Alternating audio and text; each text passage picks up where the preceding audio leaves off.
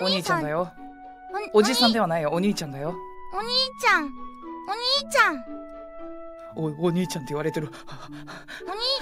おにお兄ちゃんだよ。タイプのお兄様かな。なんでお兄ちゃんってこんなになんかええなんかえっと疲れてるの？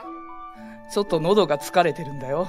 ああんまり気にしないでくれるかなそこは。はうん。うん大丈夫だよあの疲れちゃったから癒して癒してくれるかな？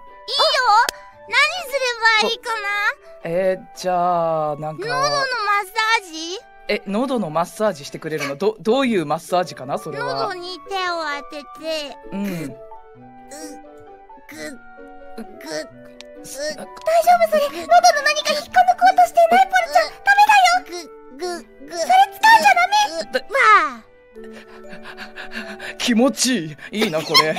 気持ちいいな、これ。すごい気持ちいい。もう一回やってくれるかな、これ。お兄様、や、やばいかもしれないけど、お兄様。うぐぐぐぐぐ。ぐぐぐぐぐ。ぐぐぐぐぐ。パー、最高だ、これ。すごいいいよ、このマッサージ。どこで覚えたんだい、このマッサージは。これは